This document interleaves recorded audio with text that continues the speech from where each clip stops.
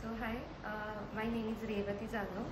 Uh, I had L5 uh, S1 spondylolisthesis.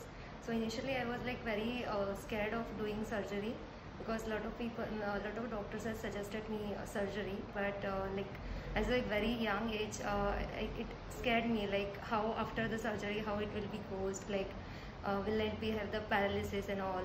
But uh, after come to uh, Sancheti and uh, sir has suggested me a proper. Uh, initially, I, I uh, they have suggested me for the physiotherapy, but after that, uh, like it is uh, it, it didn't recover, so we go for the surgery, and the result was very good because uh, like after the surgery, I didn't have any pain. So initially. Uh, for the L5 spondylolisthesis, uh, my uh, right leg, uh, I have a very big uh, burning uh, sensation, which uh, causes me like uh, I couldn't sleep at all.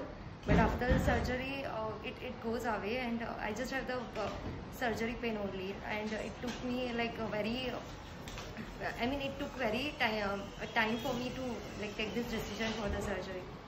So you're happy the pain is gone now? Yeah, yeah, sure. Chalo, okay, thank you.